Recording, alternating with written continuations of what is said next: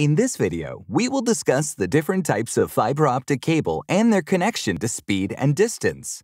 This information will help you choose the right fiber optic cable based on your present and future needs. Fiber optic strands are made up of two main components, consisting of the core and the cladding. The function of the core is to transmit the light, whereas the cladding's function is to reflect the light and keep it contained within, and to propagate the light through the fiber. What do the fiber terms 62.5 over 125, 50 over 125, and 9 over 125 refer to? These terms refer to the diameter of microns of a fiber optic cable's core and cladding. Together, they are roughly the diameter of a human hair. The second set of numbers 125 refer to the diameter of the outside of the fiber cable's cladding. As for the types of fiber optic cabling, there are two, multimode and single mode. In general, multi-mode cables are used for local area networks, whereas single-mode cables are normally used for much longer distances. The core for single-mode cable, also known as 9 over 125, is much smaller than multi-mode. This is because single-mode cable requires a very small core to transmit its laser light. But multimode cables come in two different fiber cores. 62.5 over 125 refers to multimode OM1 fiber cable, and 50 over 125 refers to OM2, OM3, OM4, and OM5 fiber cable. But how do all these fiber cores match up against each other in terms of speed versus distance?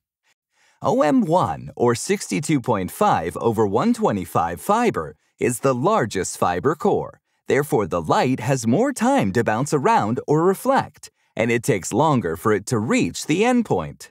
OM1 fiber supports 1 GB Ethernet to 275 meters and can support 10 GB Ethernet up to 33 meters. As you can see, OM1 fiber is not the best choice for a 10 gig network as it has the lowest data carrying capacity and shortest distance limitations. OM2 fiber is in the 50 over 125 classification, but is more in line with OM1 fiber in terms of speed and distance. OM2 fiber can support 1 GB Ethernet up to 550 meters, but can only support 10 GB Ethernet up to 82 meters. With the advance of OM3 fiber, OM2 has become essentially phased out in the industry. OM3 is usually just referred to as 10 gig, since it's generally the best choice for 10 gigabyte Ethernet multimode fiber. OM3 was designed specifically for that purpose. OM3 fiber can support 1 gigabyte Ethernet up to 550 meters and can support 10 gigabyte Ethernet up to 300 meters.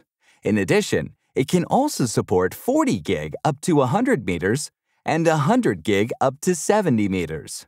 OM4 fiber is backwards compatible with OM3 fiber and was developed for VCSEL laser transmission. OM4 fiber can support 10 gigabit Ethernet up to 550 meters, and it can also support 40 and 100 gig up to 150 meters. OM5 fiber, also known as SWDM or shortwave wavelength division multiplexing fiber, is downwards compatible with OM4 fiber and has the ability to use four wavelengths across the 850 to 950 nanometer range.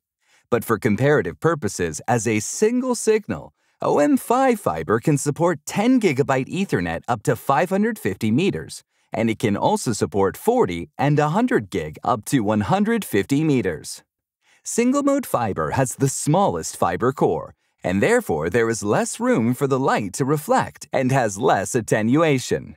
Single-mode fiber can transmit light at much longer distances, but OM3, OM4, and OM5 multimode fiber supports a higher data rates. Single-mode fiber can support 1 GB Ethernet up to 5 kilometers, and it can also support 10 GB Ethernet up to 10 kilometers. As we can see, the fiber type and the distance of the run all play an important factor in the overall speed. But one important thing to note is that you will only be as fast as your weakest link. However, future-proofing your network is always a good idea, so when all the other factors become a possibility, your fiber backbone will be ready. Visit our website to learn more or to check out our pre terminated fiber optic assemblies, which are custom made in the USA to your exact specifications with fast lead times.